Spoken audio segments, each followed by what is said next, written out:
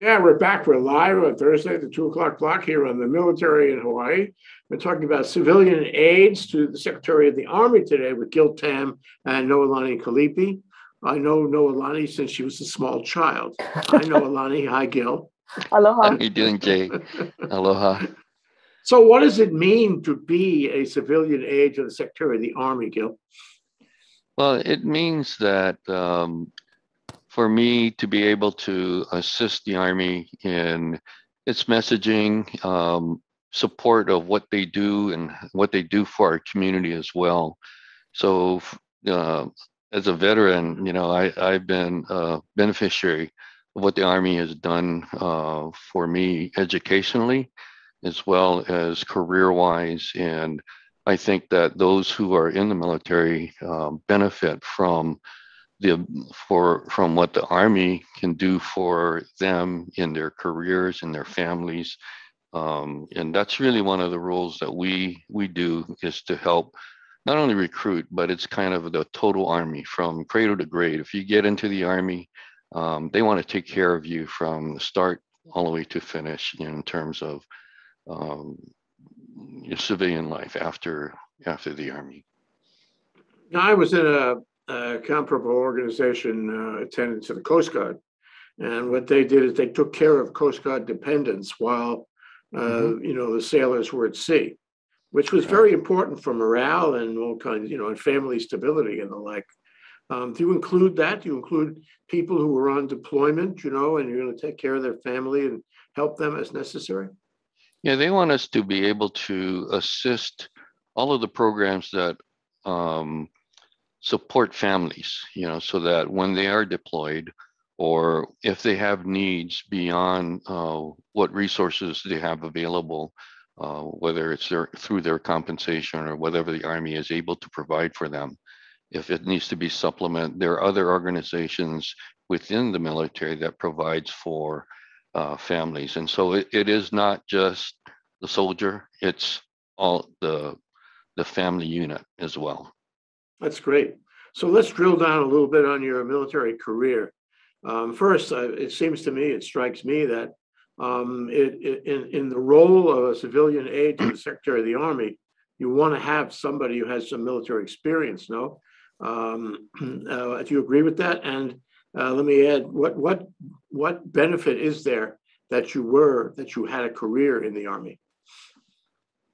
Well, for me, it's really kind of the language so that you understand, you know, what soldiers are going through. You know, one of the things that I had the privilege of being on active duty, National Guard, and the reserves.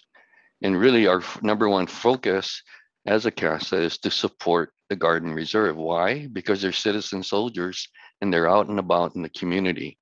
So um, I just felt I was privileged to have had uh, the three components to be able to understand what it is um, to be on active duty and then also to be a part-time soldier.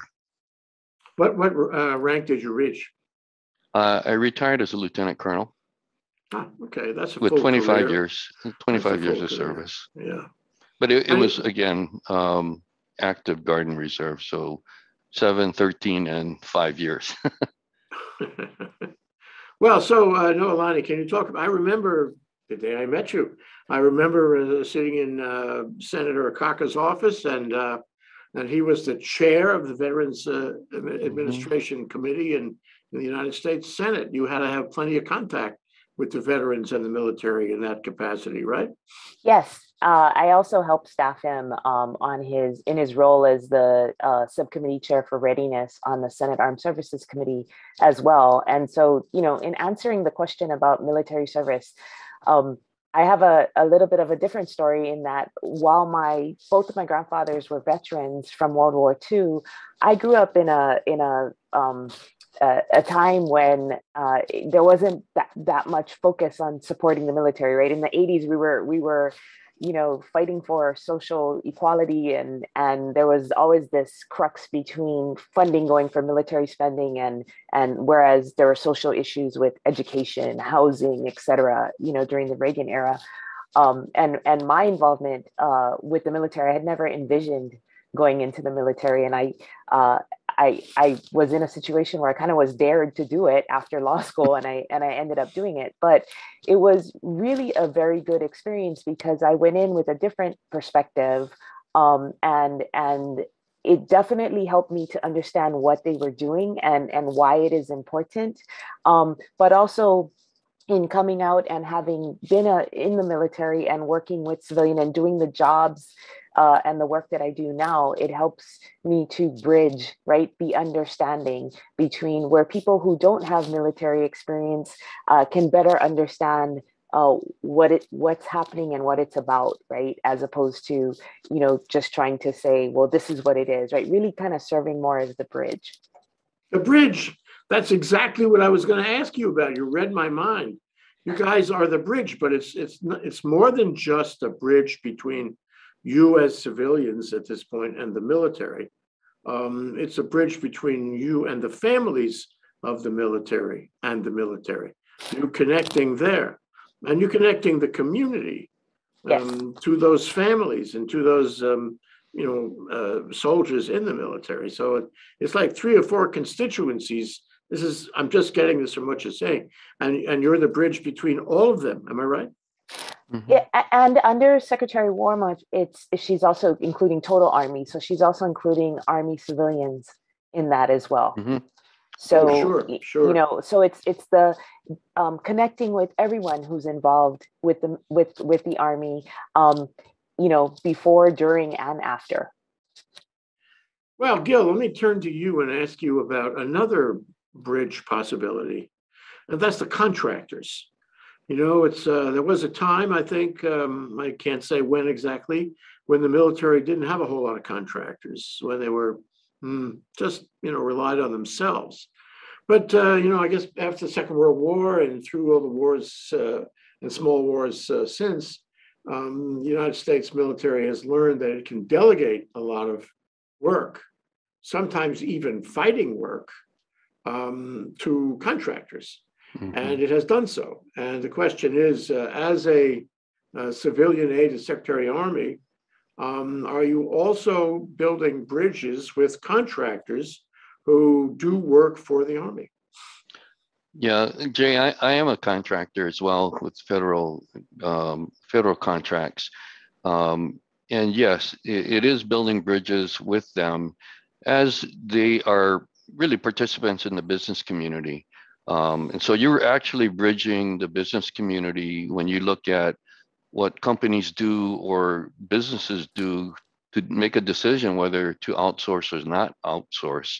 Um, is there a benefit for that? You know, are you, is there cost savings? Are, are you, can you do something better uh, through outsourcing? So it is a bridge. And I, I think when you look at our community, uh, we have um, Native Hawaiian organizations that are out there um, who work alongside um, their civilian counterparts in the military as well as those in uniform.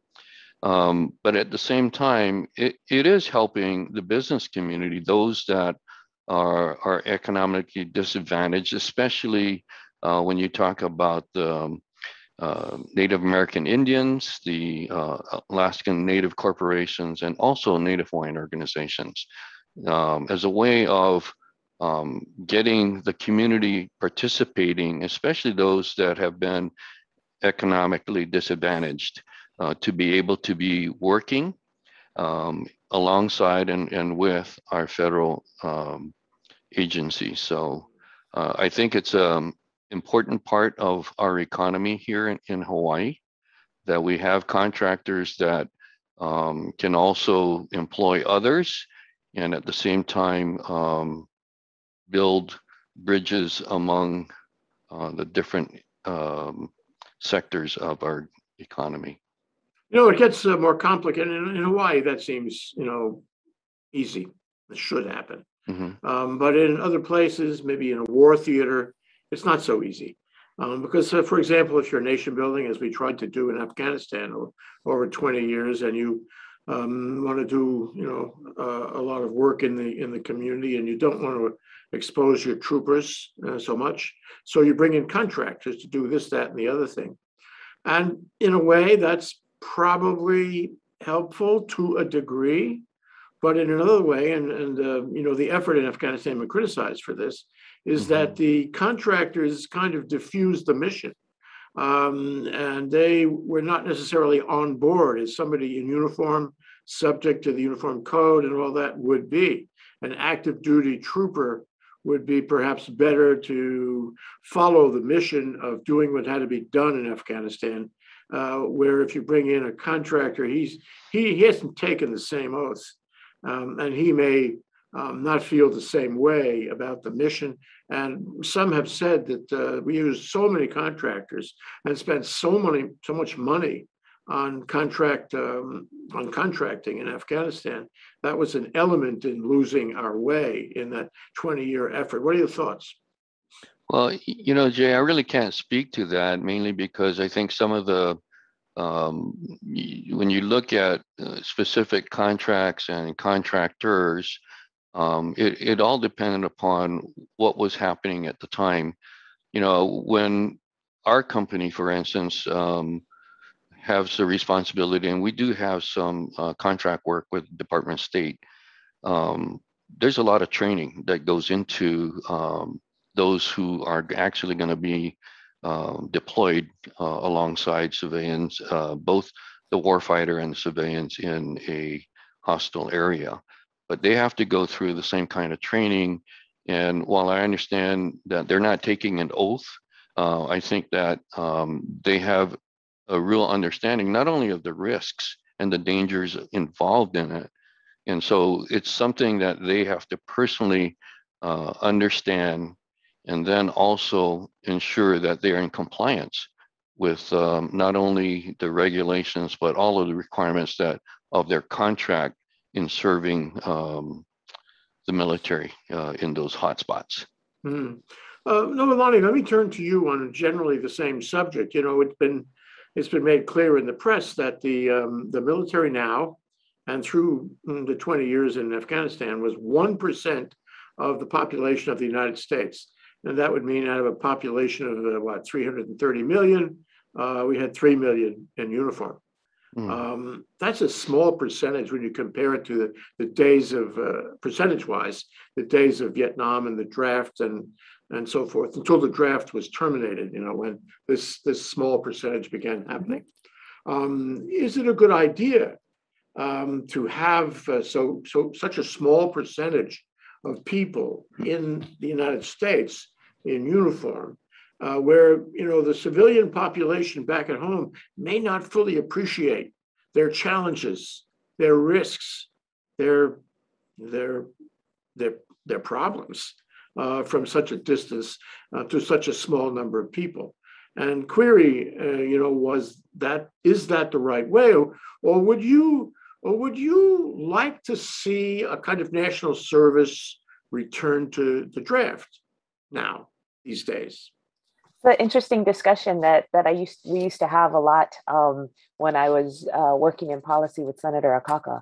Um, I I can point so to answer your question, I think there's merit to figuring out how um, there can be broader understanding and of of what it means to give service right whether it's it's something like AmeriCorps or whether it's it's something with the military i think it's very indicative um where we the the kind of evolution we've gone through um, at a policy level at the federal level you know there was a time when i first started working with senator where we had a number of veterans and a number of um, uh, at that time world war ii veterans and uh, who were in office right? And then uh, kind of as they transitioned out, there was a period of time where there were very few veterans who had the level of understanding and were making policy, for example. Um, and I'm using this at, at, at, uh, to answer your question because it's where my experience was, right? And then after um, OIF and OEF, then there was an increase in in veterans serving again. So there was a Mhm. increased understanding of the issues, um, not only of what it's like to be a sol- soldier, sailor, airman, marine, or family member, um, but what are what are the challenges, right? How do you deal with the contractors, um, et cetera? Um, so that level of understanding is necessary for a good policy. The same way that level of understanding is very helpful um, in shaping uh, and holding accountable right what the military is supposed to be doing and or how it's functioning as a part of our democracy and a part of our country. So i think that Mhm. um, increased understanding is is always you know going to be very very important. And um, along those lines uh, before we leave the bridging part too much i also want to share that part of our role is helping the army uh, to understand um, the context of where Hawaii citizens are coming from, the history, the you know, et cetera, of where it's coming from. So it's not only helping to to help civilians understand the army, it's also helping the army to understand Hawaii. Mhm. Yeah, true, Mhm. because nothing is so constant as change. You get change of duty station all the time. That has, that has not changed. Change happens all the time. Juniors and seniors and everybody moving hither and yon, and they come to Hawaii and, and they have to learn what malihini means, you know? Right. Uh, So, so how do, how do you help them out? It's not so easy because, uh, you know, A, they have, in many cases, no experience with a unique environment. This is a unique environment. I don't need to tell you that. and B, they're, they're not- necessarily all that committed because they know in three years or, or so they're leaving again. Um, how do you bring them together in a way so that it counts and so that, so that they appreciate the place? I think there's a genuine interest in in the majority of the soldiers, sailors, airmen, marines, uh, and their family members in in doing the best that they can. There, there's a duty that they feel in protecting and in in in connecting to the place, right? So that makes it a little bit easier. Um, there needs to be there's an investment in time in in explaining the context of where people are coming from, right? Because many many times. Um, for some of Hawaii residents, it's the first um, uh, interaction with someone, right? And and there's a lot of history, and since they're the person in front, you're going to share all of that history, whether it's their fault or they had anything to do with it or not, because it's, it's your one um, contact with a federal official or and or person, right? So it's helping to helping them to understand that, helping them to keep you know be curious and helping them not to be as defensive but also helping helping them to want to connect inspiring them to want to be a part of it right? Um, and that's you know the, the army has evolved a lot in terms of helping people to transition into into new areas whether it's louisiana or hawaii right? So so there is training of, about the importance of that but hawaii in itself is also very unique. Yeah, it is. So when you um, give them orientation about Hawaii, um, is, i- i- do you, do you give them a kind of rose-colored view? Or do you tell them some of the mm, social problems we have out here, the economic problems, the problems that we have out here? Because we do, you know, look at the Star Advertiser any given day. Uh, You know, we have problems. Do you tell them about that too? Well, for me personally, I do. You know, Yeah. um, it's all contextual, right? It's it's not so much speaking in a vacuum as it as as it is often in response to uh, or in preparation for something that is occurring, right? So it's all relevant to a certain uh, topic, and and providing and eventually everything will lead to the history, right? So you get to that contextual part, you get to explaining the perspectives. But sorry, Gail, I cut you off there. No, uh, but at the same time, you know, each of us who have had the opportunity to move away and then come back, um, each of us have been ambassadors for Hawaii. I mean, uh, I still get calls uh, from uh, my fellow um, officers when I was um, my first assignment in Germany. You know, um, the way we act, the way we behave, our generosity uh, as a as a people, uh, that spirit of aloha, uh, it kind of permeates, and then so people want to know what is it about Hawaii, and so we, you know, Noe and I have had the privilege of uh, uh, talking and working with our Army leadership. You know, like General Flynn is this is his third time. Um, he gets it um, and it it should permeate uh, through the command and through all of the services that are here um, that it is a special place and so when we do sp- talk about the culture you know you can talk about culture and talk about language but it's it's a sense of place and and as a people we have a respect for it And, you know, that is kind of ingrained through our heritage, um, the connections. Um, both Noe and I are um, Native Hawaiian. Um, and so, you know, we we look at that, and I also look at the other, uh, perhaps three quarters of me, which is Chinese. You know, it's a it's been a, a mix of um, understanding of the different cultures here, but the host culture being Native Hawaiian. I think it's a special place, and we want to make sure that everybody who comes here understand that, and that they do all they can to basically uh, perpetuate what it is to, in the spirit of aloha. You talk about ohana and so forth. We want them to capture that so that it, it's meaningful and everyone who comes here um, experiences it. You know, I want to move uh, to one issue that, that relates to age. I'm, s- I'm sorry, Gil. Uh, I'm not sorry to you, Nolan. You know, when I, when I was in the service, uh, I was a young lawyer in the service. uh, and When I say young, I mean, I was probably 24, 25, 26. Um, and the command would send me uh, the retiring brass uh, that I should talk to them and act as a bridge for them to get back into the civilian community, wherever they were going. And uh, I was assigned to New York, uh, the Third Coast Guard District for this. I mean, am- among many other duties. But what, what was, what struck me, in fact, in so many words, what struck me was that senior brass, we're talking about mm, four, four stripes, okay, um, getting out of the service, they were terrified. They were terrified because they had had wonderful Coast Guard careers all over the world. Um, and they had been in a nurturing, completely aloha, you know, kind of environment with their fellow officers and men and women. Mhm. Uh, but now they were going back into the, you know, the hard scrap, scrapple of, of the civilian community. And, and they knew that it was different. They didn't know how different it was. And they came to me, I was 25 years old.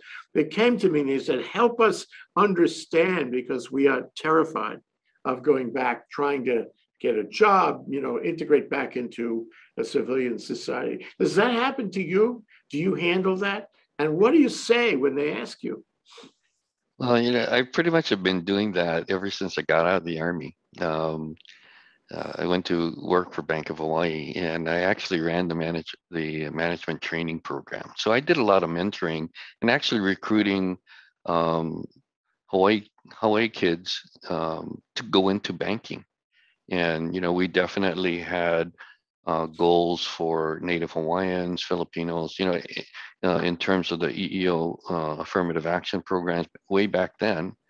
But I think that it it's something that you should be able to do if you're in the civilian community, and that, that's why the bridge thing is is very important. When I moved from the National Guard, um, I made a move to the reserves, and I was an individual augmentation uh, augmentee uh, in the reserves, and my assignment was um, U.S. Army Japan.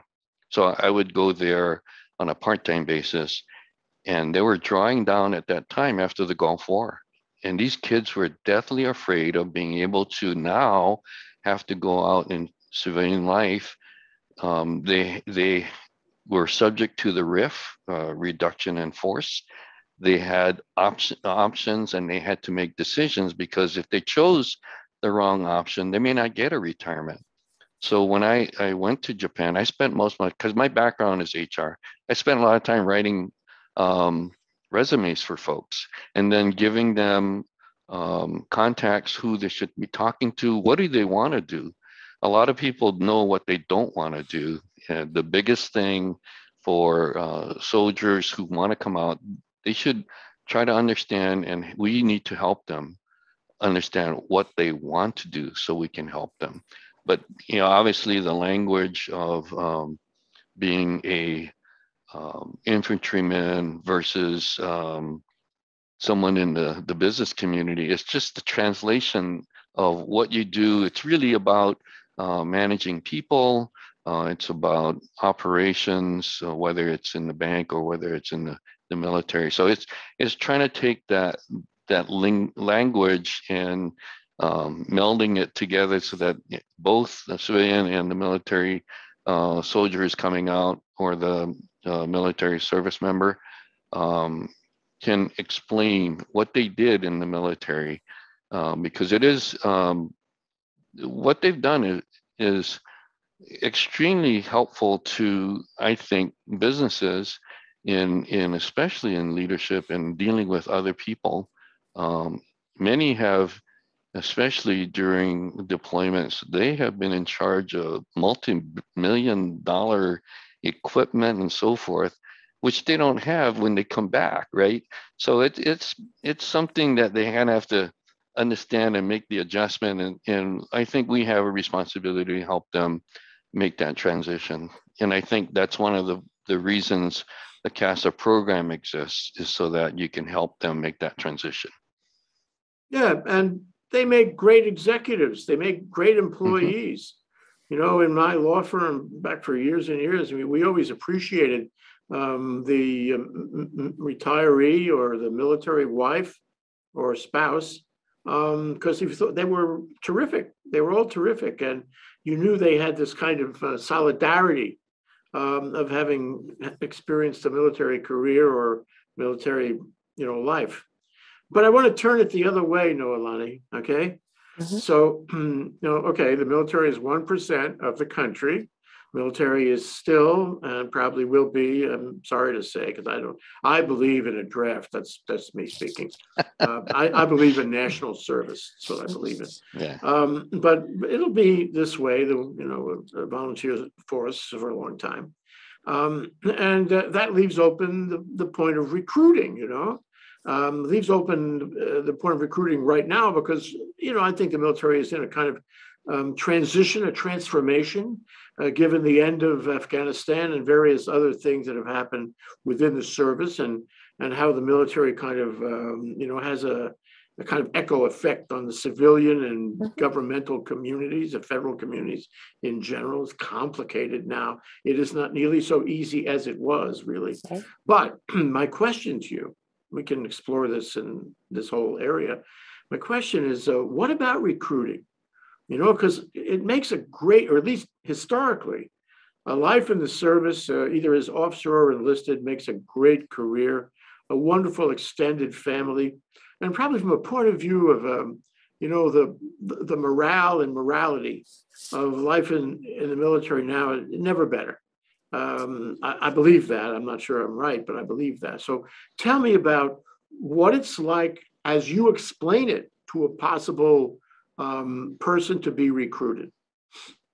Uh, well, I think the the military and specifically the army is is adjusting to to the change in threats. Right, there's always a transition. There's always so so the things that are very relevant to our young uh, adults today, like cybersecurity, like gaming, like all of those things, uh, have very real application for skills and jobs and training um, within, you know, in the army. So when I'm speaking with, and I'm not a recruiting specialist, but when I'm speaking to y- young students who are, um, and or young adults who are interested, you know, I'm looking for, well, what are your interests? And let's see what is available in the army um, and how do you, you know, how can you use that similar to the way you do a college, right? What is the training? What is the, um, you know, what is the certification you're going to be able to get? And what are people who are leaving the service in these areas doing? And what are the opportunities for them, right? Whether it's diplomacy, whether it's uh, working for tech companies. I mean, there's a there's an amazing amount of training um, that that is being done, and and a lot of it is in cyber. A lot of you know there there's just so much um, to protect our country that we need that training in right now. And so you know it starts with finding out what is of interest to those students and then seeing is there a connection is there a program is there an occupation um, within that that also um, meets the needs of uh, our national security Mhm. You know, um, patriotism is really important. It's Mhm. important to me. I know it's important to you guys. It's important to the country. Uh, and sometimes, you know, like now, uh, there's, a- there's, a- there's an argument about it. It's not clear, as maybe it used to be. Um, except, I mean, I'm very, I'm emotionally patriotic. That's how I am personally. But query in Hawaii, there's some people, you know, for considerations of sovereignty and the overthrow and all that, they may not feel very good about the United States and about the role of Hawaii in the United States uh, and about patriotism. And I wonder if this pops up in your discussions with these possible, these people who might be recruited. Uh, and in, you know, the world in Hawaii as it relates to the military. Um, do you find people who are, what's the opposite of patriotism? Whatever that is, do you find that? Definitely. Definitely. And and and um people have very many different diverse views. Uh, and and it all comes from their experience um, and how they're how they view and what their perspective is about the legal and political relationship uh, of the history of Hawaii and Hawaii's relationship with the United States, right?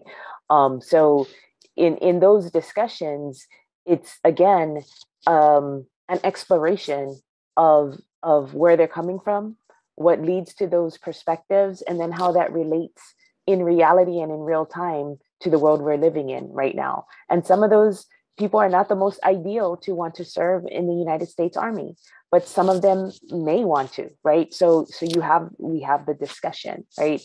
Um, and so so that but definitely those those those perspectives are there.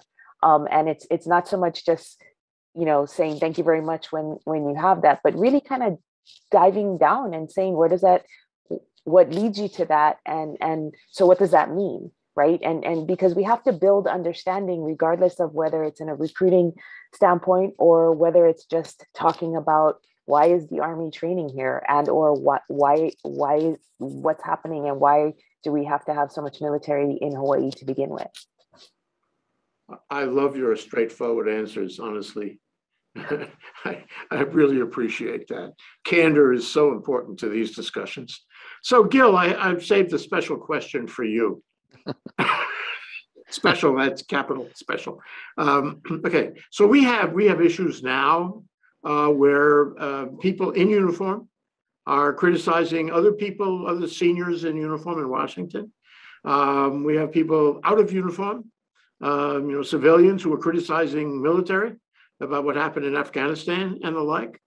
Um, we have uh, one big issue right now with General Milley um, on whether he, uh, you know, went beyond his authority, uh, exercised a civilian role when he contacted, uh, you know, the the Chinese, uh, his counterpart in in China, um, and so it it puts into into play, into discussion, the whole notion of um, I don't want to say transition, but a change in the way, or at least a, an awakening in the way the civilian community in government and outside of government relate to people in the military.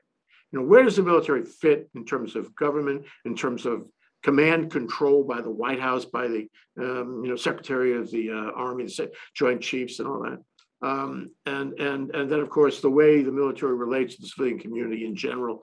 These issues have been. Isn't my fault. I want you to know that's not my fault. They've been brought into play now over the past few weeks at least. And I'd like to know your thoughts about it. A, am I right to say there's a, a transition, uh, perhaps a new and accentuated awareness? And uh, what, what, what thoughts do you have? What concerns do you have about this issue about civilian and military, the relationship in this country? Well, you know, that is a hard issue only from the standpoint, I think that all of us who have been in the military uh, take an oath. Um, both Noelani and I take a, take, take an oath uh, to uphold and defend uh, the Constitution. And I think when um, profession, and it is a profession as well, it's a profession of arms. So when you take a look at that, um, and individuals who do speak up, I think they understand what their oath was, and at the same time, what the consequences could be um, should um, they speak up, and that's okay. I, I think that we have um, we fought for freedom.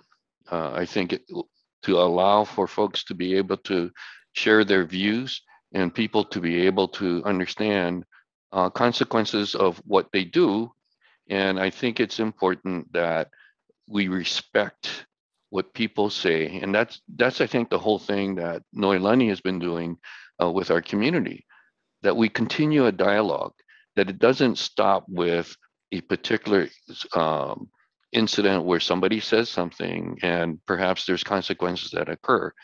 I think the oath of office for us is to be able to um, recognize that we have a democracy from the standpoint that um, the civilian um, actually is the leadership is the leadership above the the military, and there's a specific reason for that, so that we we understand that we're not um, like other countries uh, that may um, do things just strictly because the military wants to do something. So I think it's important that the checks and balances that occur in, in our democracy, it's there, regardless of what people say individually or as a group. I, I think that's the beauty of uh, being an American.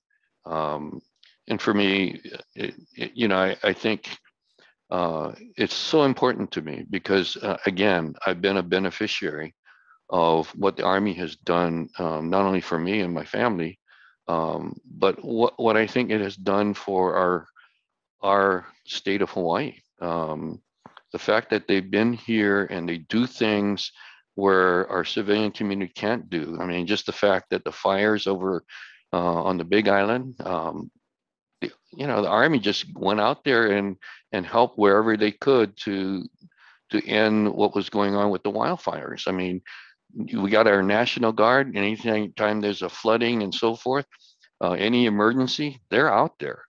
So we got to be grateful for these men and women in uniform, regardless of what service, because they're they're putting their lives on the line in the combat situation, but at the same time helping out where uh, domestically here um, to help us where we just can't um, we don't have the resources in which they have to be able to benefit our our community. So I, I'm just grateful.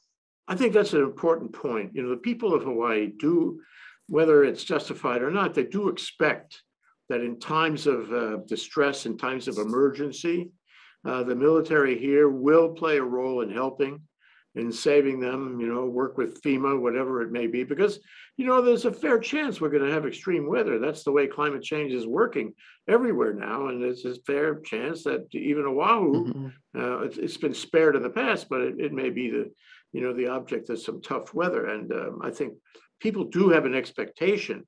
And um, I'm glad to hear you, I'm glad to hear you say that. So uh, one last question, I will close, okay? Let me ask you first, Gil the future. You know, this is an important post. Oahu, mm, the Hawaiian Islands, it was always an important post from 1850 on, and it uh, seems like it's even more important now, given you know the way things are unfolding in uh, in in in the um, in the West Pacific. So my question to you is, how do you see your situation as civilian aide to the Secretary of the Army unfolding going forward? I mean, um, will, will your workload get bigger? Will your job and your duties get bigger? What do you think is going to happen to you? And you can also speak for Noelani. now I'll let Noelani speak for herself. uh, I just think that um, the increase in communications and being able to um, bring everybody to the table and continue the dialogue so that we come to resolutions on issues that need re- resolving um, and to also work towards a win-win situation. So I think that um, the increase will be in just trying to bring people together uh, in such a way that the communications process, you know, there are there are times when you know I I listen to um, you know, my brethren who are Native Hawaiians and they they didn't have time um, a seat at the table. And what Noelani has done, you know, in facilitating the community, is bringing people to the table so that the voice is heard, uh, that we have an opportunity to listen, and individuals have an opportunity to express um, their thoughts. um, whether good, bad, or indifferent. Uh, we just need to have that dialogue because without it, I don't think we can come up with um, great solutions that would be. It may not be great in many minds, but at least we come to the point where we know what we agree on, what we we don't agree on, and let's work that the middle where we can try to move it one way or the other. So, um, and also understand that it's okay to have that in the middle, right? So, Yeah, I no, can no, I- feel, I no, can I- feel that in this, in this discussion, both of you are, uh, you know, willing to openly discuss these things with me. I really appreciate that, but that also reveals your approach to things, to all these bridge connections, uh, and very important that you develop the credibility and the relationships that allow you to do that. So Noelani, your future, are you going to be in this for a career? Uh, How do you see it unfolding for you? Well, this is a volunteer position. Um, we get we get appointed uh, for two-year terms. So I'll only get reappointed if if the army, you know, decides to reappoint me. Um, regardless of that, I think what what Gil shared is is is exactly how I feel in terms of what it's going to be. Um, you know, we'll we're both in this position because we want to help. And I think the the issues facing the army in Hawaii, the issues facing DoD and Indo-PACOM are, uh, you know, and the issues within Hawaii are all reflective of each other. We're in a time of transition. So um, the, the critical thing is helping people to understand how they engage. What, what does civic engagement mean and what are the opportunities and and and also the nuances with that right? In some cases people will say they want a seat at the table. In other cases people will say it is our table.